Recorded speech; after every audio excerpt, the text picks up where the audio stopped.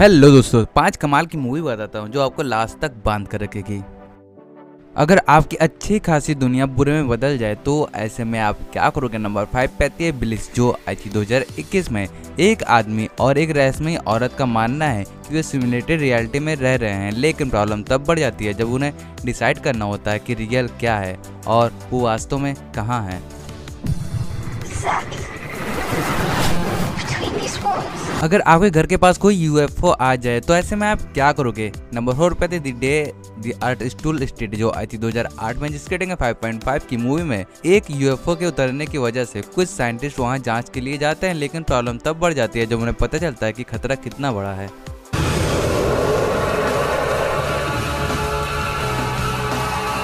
अगर अचानक से किसी वजह से पूरी दुनिया की लाइट चली जाए तो वहाँ के लोग कैसे रहेंगे? नंबर थ्री पे आती दी ब्लैकआउट, जो आई थी 2019 में जिसकी रेटिंग 6.1 की। दो घंटे बत्तीस मिनट की मूवी में ब्लैकआउट की वजह से पूरी दुनिया की लाइट चली जाती है। सिर्फ़ एक ही जगह की लाइट आ रही होती है, वहाँ के लोग ज़िंदा होते हैं। ब्लैकआउट की वजह से आधे से ज़्यादा इंसान और जानवर एक दूसरे पर हमला करके उन्हें मार रहे होते हैं। अब ऐसा क्यों हो रहा होता है और कौन कर रहा होता है, वो आप मूवी में देखो।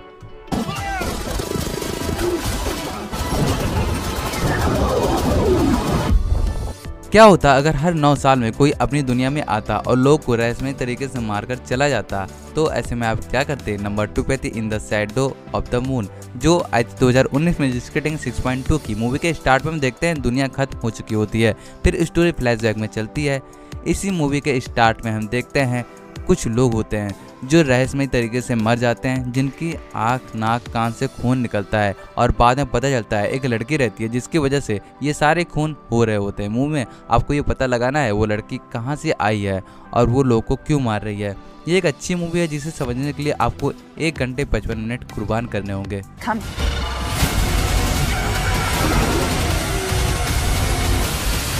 अगर आपको एक ही दिन बार बार जीना पड़े तो आप क्या करोगे? नंबर वन पे the map of tiny perfect things जो आई थी 2021 में, जिसके टेंग 6.8 की। मूवी में दो टीम एक ही दिन बार बार जीते हैं वो, क्यों? वो आप मूवी में देखो।